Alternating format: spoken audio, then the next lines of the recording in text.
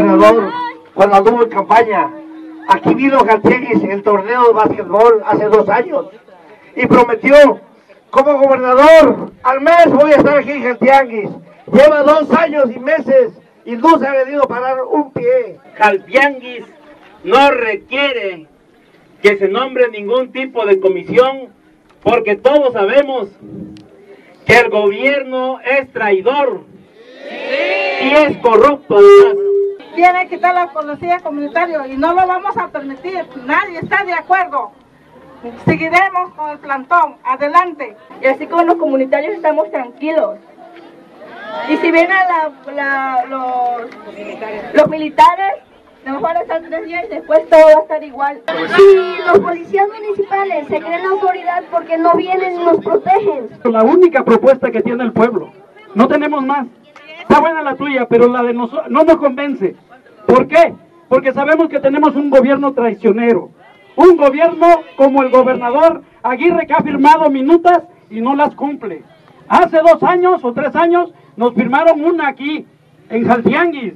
Nos dijeron que nos iban a, a poner al ejército y a la marina en un punto.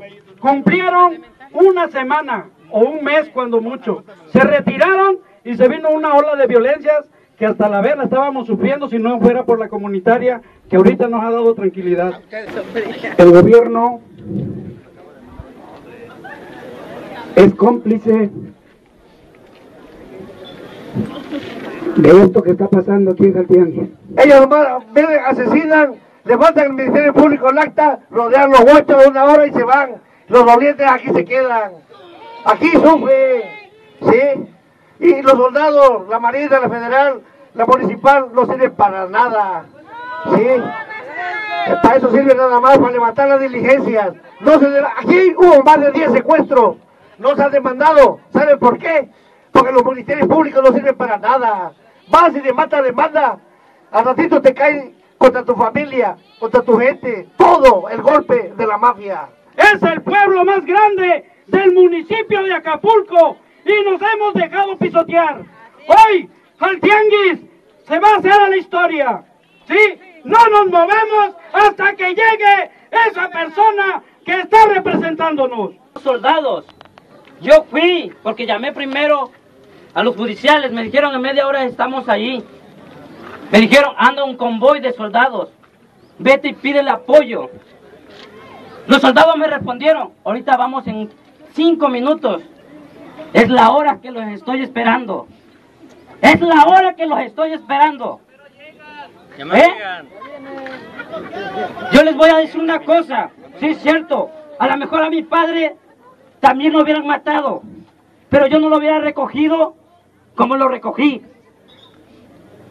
agusanado. ¿Por qué? Porque ese día lo hubiéramos rescatado, muerto, pero lo hubiéramos rescatado.